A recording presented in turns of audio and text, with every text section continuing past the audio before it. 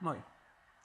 Pelibisneksestä tekisi mieli tässä striimauksen aikakaudella sanoa sen verran vielä, että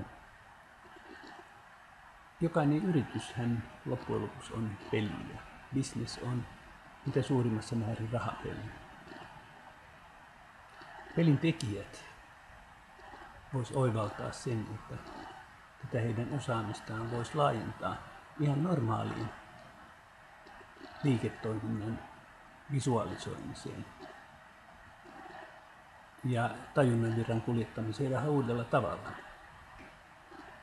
Tätä varten mä suosittaisin, että jokainen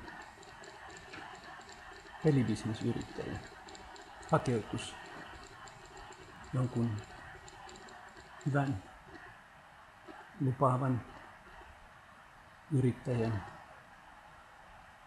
yhteyteen ja kelaisi vähän tätä asiaa.